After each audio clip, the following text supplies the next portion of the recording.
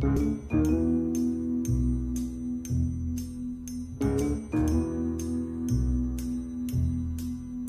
you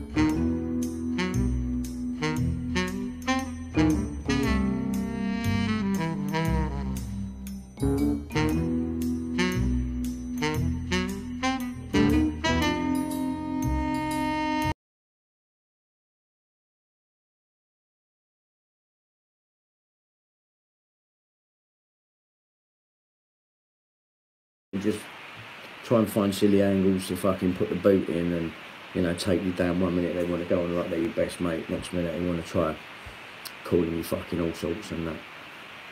But like I say it's all part of the plan. They've got so many actors going on so many crisis actors turning up you know.